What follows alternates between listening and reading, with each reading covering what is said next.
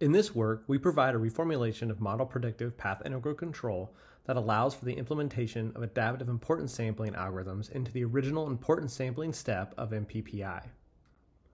MPPI has been demonstrated to work real time on arbitrary system dynamics, including dynamics represented by neural networks. However, as the action space grows, so does the required number of samples. This trend inspired us to explore ways to efficiently use each sample. The main idea of MPPI is to use importance sampling to estimate the optimal control.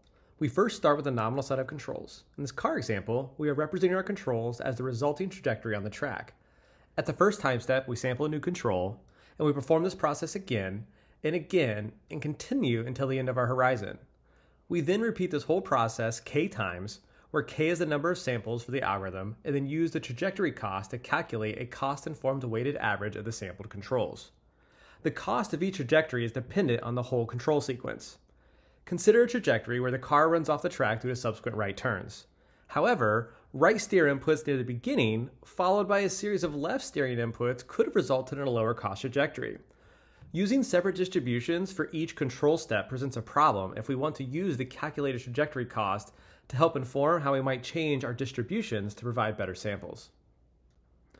Our solution is to treat the sequence of controls as one control input with a combined covariance matrix and sample from one larger joint distribution. With no additional modifications, this process is the same as in MPPI, but with the ability to include off diagonal terms in the covariance matrix, which provides a larger class of proposal distributions. This allows us to connect the trajectory cost with a sample and then use these costs to update our distribution. And then we can resample from that new distribution. This process is a form of adaptive importance sampling. There are many AIS algorithms with different performance costs and benefits. We implemented five different AIS algorithms within MPOPI for our experiments. In this work, we focused on the integration of AIS algorithms into MPPI and left the investigation of specific trade offs of different algorithms for future research.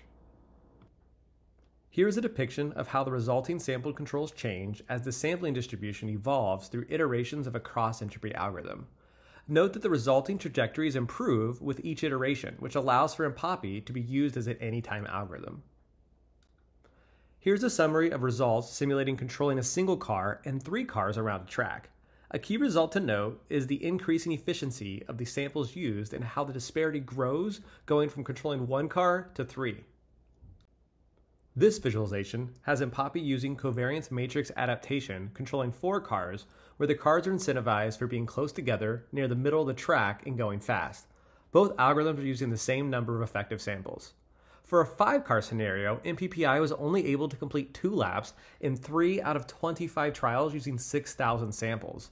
While the CE and CMA versions of MPOPI were able to control up to six cars successfully with as few as 1,500 effective samples. With MuJoCo Half Cheetah, both algorithms find a similar local optima that involve rolling to achieve speed. However, MPOPI is able to achieve a higher reward with a third of the samples. Performance in MuJoCo Ant also demonstrates the sample efficiency. The result resulting control is somewhat unexpected as you can see in the bottom right video with the ant spinning, but the local optima discovered does not violate any constraints. This does highlight an attribute of MPPI-like algorithms though. If certain actions are not desired, like spinning upside down, we can update the cost with no modification to the algorithm, as the algorithm is not dependent on the structure of the cost or dynamics functions. The MPOPI algorithm is more sample efficient, and the iterative nature lends itself to an anytime approach. However, these benefits do come at a cost of a reduction in parallel capability. Lines 4 through 11 are the computationally heavy portions of the algorithm, where lines 5 through 9 are similar to MPPI and can be run in parallel. So, given k times L effective samples, MPPI would propagate the system dynamics in parallel for all k times L samples. However, MPOPI requires propagating k samples in parallel in L sequential steps, where the execution of the AIS algorithm must occur after each propagation of the k samples. This drawback depends on the complexity of establishing parallel computations, which is hardware, problem, and implementation specific. Despite this drawback, as the problem complexity increases, MPOPI provides an alternative approach to just simply adding more samples. Integrating AIS algorithms also opens up many areas for future work. As I previously mentioned, there are numerous AIS algorithms. Some of those algorithms involve using multiple proposal distributions. A way to get full parallelization back while still using AIS techniques would be to integrate these AIS algorithms where you can propagate the system dynamics of the samples from each proposal distribution in parallel. Another potential extension is to reuse the full updated distribution to warm start MPOPI at the next time step. Instead of rolling over just the mean, we could roll, roll over the full distribution and potentially increase convergence and not need L updates in subsequent steps.